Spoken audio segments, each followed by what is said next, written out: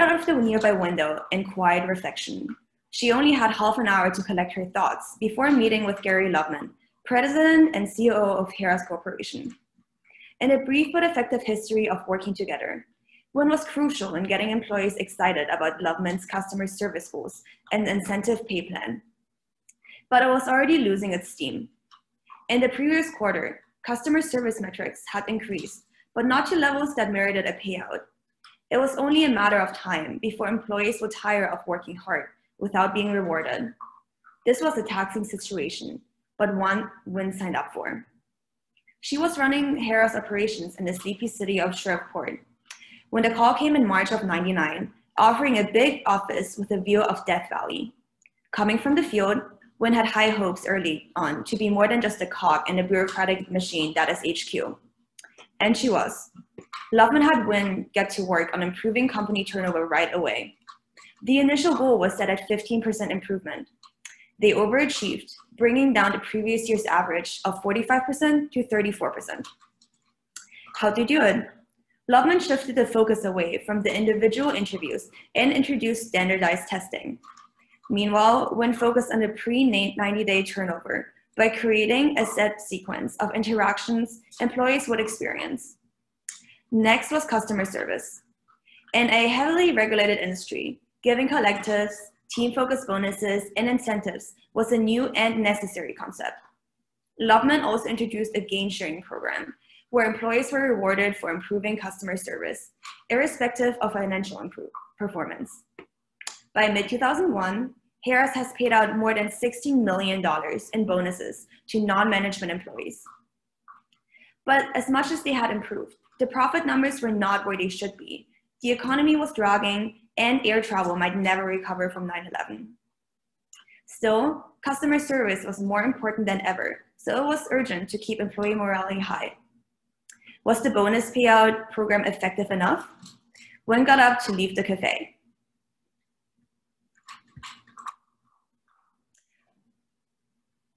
So during our presentation, we would like you guys to identify the main problem of the case. Um, also, do you guys agree with our solution? If not, what would you, would you do differently? What are the main points of our presentation? And do you agree?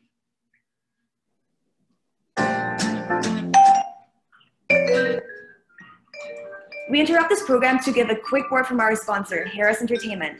Conflict of interest? Maybe, but don't worry about that. Uh, hi, my name is Gary Loveman, Chief Operating Officer of Harrah's Entertainment, and over the next couple minutes, I will be providing you with a comprehensive overview of Harrah's history and marketing strategy. Ever since William Harrah opened the first property in 1937, Harrah's has prided itself on superior customer service. And because of this mission statement, Harrah's launched the Total Gold Rewards program in 1997. When we did this, we were the first gaming company to offer a system-wide gaming loyalty program. This means that points acquired at one property could be redeemed at any of our other locations. This innovation in customer service propelled us to high levels of success in all of our locations, as well as paved the way for our future database marketing system. This system would collect information about our patrons via the Total Gold card that they would swipe at various machines throughout the casino. Uh, the information that we gathered from these cards allowed us to begin marketing using customer worth as opposed to uh, observed level of play and open the door to countless new opportunities to bring more revenue into our casinos. Observed level of play is an archaic measure of customers because it fails to identify the potential value in customers who spend money at a number of different establishments. For example, if someone set aside $100 to gamble with and spent $20 at five different casinos, then utilizing the observed level of play method would lead us to severely underestimate the value of that individual. This is just one of the many new techniques that our data collection has made possible. I'd like to thank you for listening in on this Harrah's presentation, and I encourage you to visit us soon. And now back to our regular scheduled program. Marilyn enters Loveman's office at Harrah's. The window blinds were closed slightly as usual, casting dramatic shadows from the sunlight seeping in. Loveman had a thing for 1940s noir movies, He sat at his desk and checked his watch. Marilyn was right on time. Winn, before you give me the recommendation, I want the, I want the rundown on your trip to our competitors. I need industry numbers and observations. Well, since 1999, there's been an increase in the overall market for hotel casinos with well over 300 locations across the country now.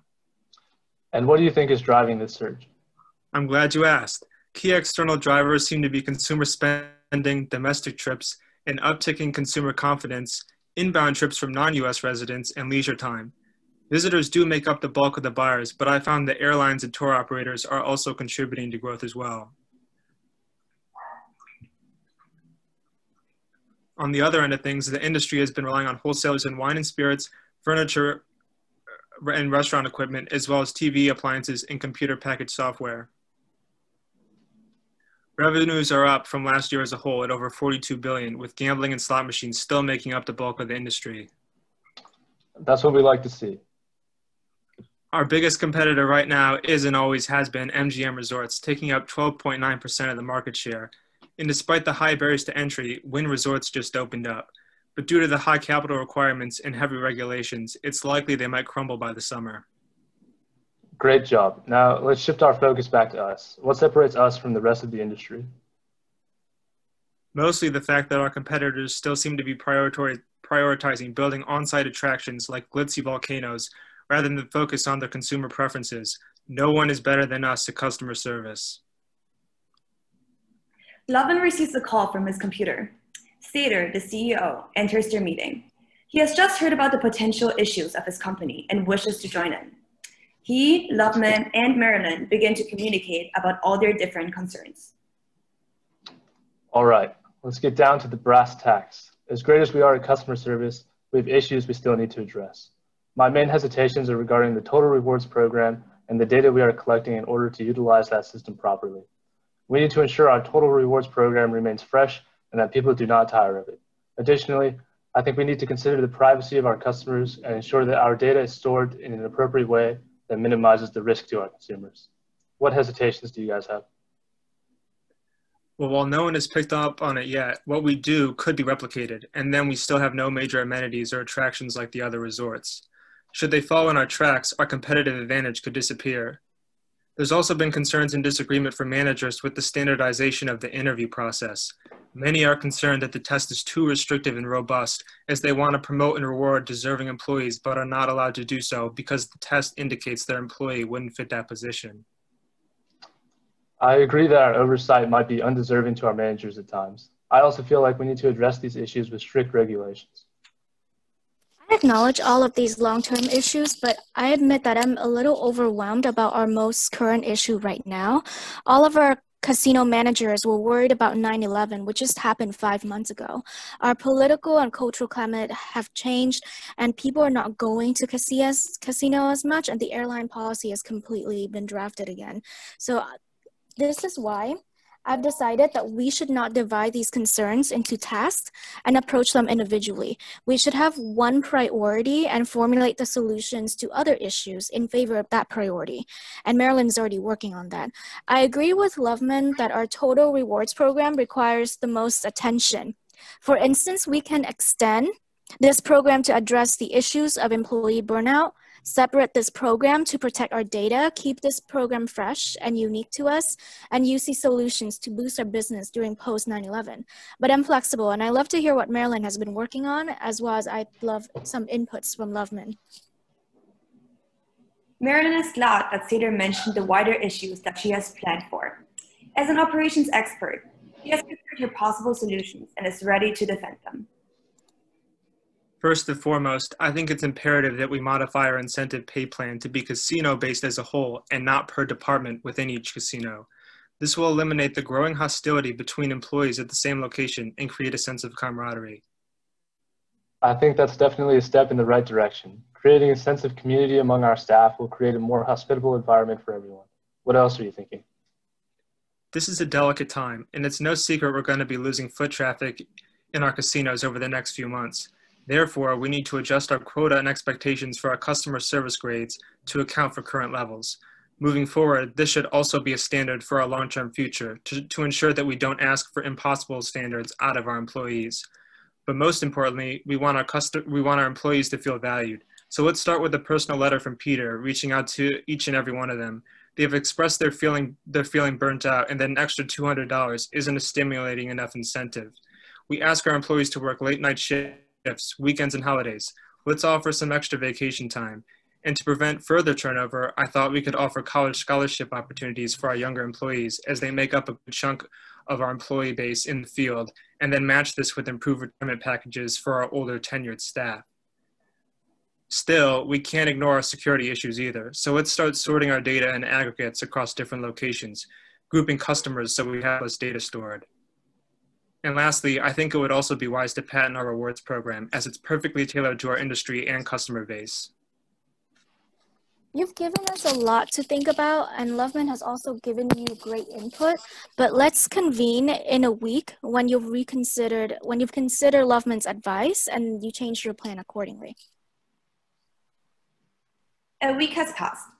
Satre intervenes in the debate and asks Marilyn to take Loveman's advice and revise her solutions if necessary. He tells her to send him and Loveman an email explaining her recommendation step by step. He encourages her that these meetings will improve her plans, as work like this is lucrative and requires adaptability. After rechecking the details of her plan, Marilyn has written the following summarized steps in her email.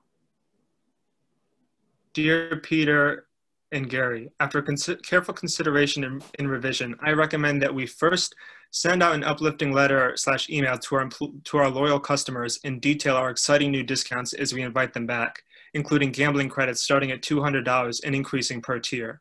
Second, announce our marketing plan of discounts for first responders in the 9-11 attack, as well as 30% of the of proceeds from hotels going to a variety of charities.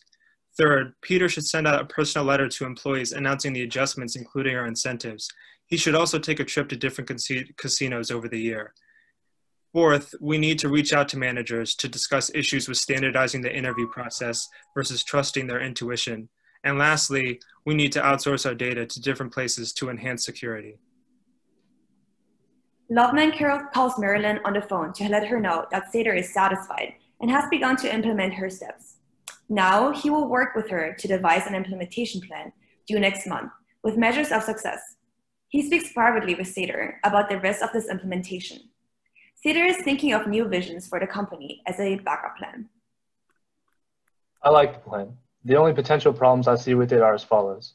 Firstly, I hope our customers don't misinterpret our outreach program as disrespectful or as an attempt to capitalize on the recent tragedy. Secondly, hopefully if we decide to upskill our workers, it demonstrates our commitment to them and they don't take these new skills and degrees and leave our company for another one. But I do think that undertaking these initiatives will be a worthwhile investment in the long run. I do want to approach this as well, but I'm thinking that in case the effects of the total rewards don't go as expected, I've envisioned some other things as backup. For instance, I'm thinking about offering new changes, attraction, and meaningful decoration. We could invite celebrities like the popular Backstreet Boys to the location and establish ourselves as a concert destination. We want to be a part of daily American recreational life. Maybe in the future, we can change property functions in less known hotel locations to make it more relatable and visionary. We only keep our key locations to control image, but I'm thinking of diversifying income sources from casino model to other entertainment models as backup plan. We can maybe try pop-up casino as a response to long-term damage by 9-11. So with pop-ups, we can bring the casinos to the location of the customers who are afraid of flying and offer charity there. And with enough investment, we can probably dabble in niche properties under different names, like what Estee Lauder is doing. And speaking of data management, our team can acquire a tech startup to, a, to create a virtual secure poker room or a hybrid poker situation in case of the next pandemic. In the end, we had to realize the importance of one-on-one -on -one learning relationships by taking the time to consider the individual needs of those affected we suggested that the CEO reach out to both customers and employees individually to su provide support after the devastating events on 9-11. Managers and employees are encouraged to learn from each other about their respective needs. Managers should also discuss issues with the individual employees, communicating with them directly. Our CEO will offer niche offerings based on the individual customer's rewards tier. Implementing one-on-one learning relationships is the easiest in service sectors, and also best for customer retention. Equally important was forming strong relationships with Harrah's employees. A company's relationship development process does not apply to customers only, but should also include employees as they are an essential part of any service business. We realized that employees want to be promoted internally instead of giving those opportunities to outside managers, but that doing so based on only gut feeling was not feasible. We searched for a solution and found that implementing standardized testing to confirm qualifications was the best option. If employees do well, they will be promoted internally. Coupled with our gain sharing program, this will lead to great teamwork and high level customer service. In return, our team will have the opportunity to interview with both HR and direct managers and receive regular feedback and communication with HR that extends past the onboarding period. In conclusion, the main learning point is that not only good customer service is important, but also a company's customer relationship management strategy. Only by taking both factors in consideration, a company can attain the highest retention rates, which in turn translates to high profits. Thank you guys so much for listening to our presentation. And now we'd love to hear some feedback from you guys and also Professor Wang, and also um, what you guys thought of the questions that we asked in the beginning. Thank you so much. It's a wonderful, wonderful uh, job. I, I, truly enjoyed your, your role play. I, I think it's uh, creating a virtual boardroom meeting is, is kind of interesting initiative. Thank you so much. Yeah, you can stop sharing now.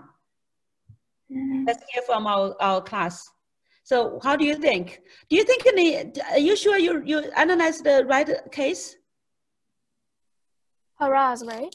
Yeah. Yes, Harrah's entertainment, right? Yeah, Harrah's Entertainment, and we're going. We were in 2002. You were passing forward, right? You are not talking about in 1990, uh, the 2000 May May 4th, 2000. Yeah, we were in May 4, 2000, and we're speaking about what's happening afterward, like after the total rewards program. After 9/11. Yeah, after 9/11. Okay. Okay, yeah. gotcha. So you basically focus on the, the, the time the time um, horizon is a little bit forward thinking. Yeah. Okay. Yeah. Good. I, I really love the interactive uh, presentation style and uh, all the PowerPoint slides and the, the whole like storytelling style. Love it. Okay. However, however, I do want to point out uh, one thing is we need to stay focused on the questions uh, when you present for the rest of the class because you guys did a great job for sure.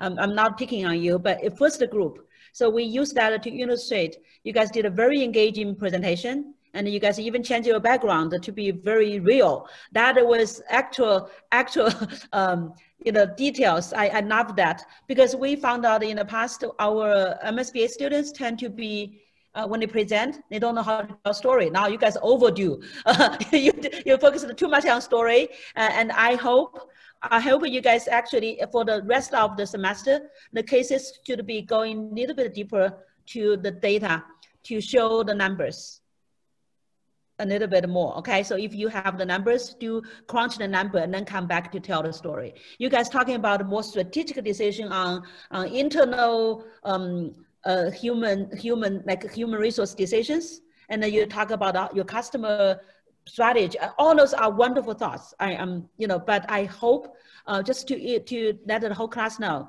um, in the future for your uh, case we we still focus more on the quantitative, uh, the quantitative side, the number side to look, to derive some kind of insights. You guys did, did a little bit, but, um, but it could be more, okay? So because first time we don't know, right? So, but you guys, it's very good storytelling.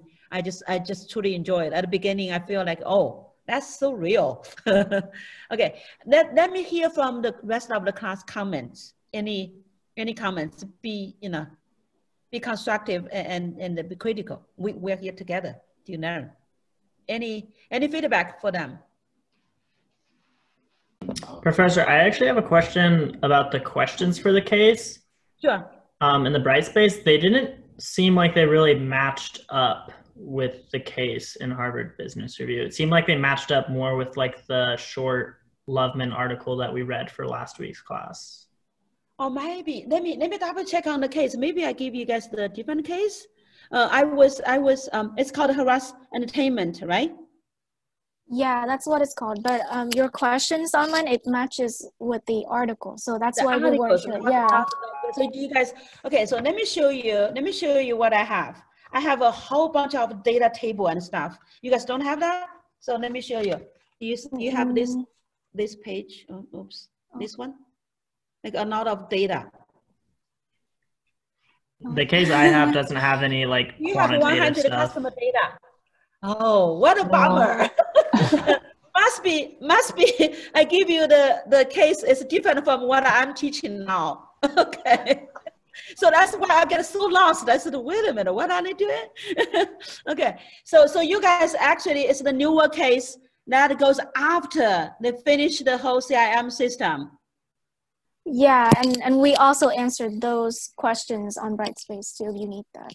Yeah, yeah, you did, I think, yeah. So I'm so sorry. Let me, uh, let me, let me double check on whether the case is, is the correct one. I hope it was, but it, but how many pages do you have for the case?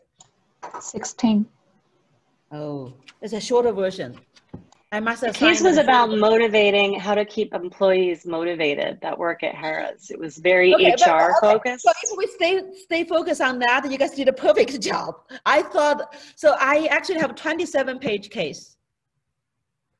20 page, ah, 27 pages. Ah, okay. So we are talking about different things. Okay, anyway, so, so apologize. I, I sincerely ap- apologize. So, so do you, um, do you realize I'm going to send you, um, the PDF file of the case so you guys take a look at what I actually have in mind. And there must be, must be when I, when I put them into the course pack, they, they updated the new one. And then I did not have the old one. So that, that's, that's what happened maybe. So I'll, I'll check into that. I apologize, okay? But I will double check on all your cases, not getting into the wrong case. Okay, but, but maybe your case, you guys did that, handled that very well. Thank you.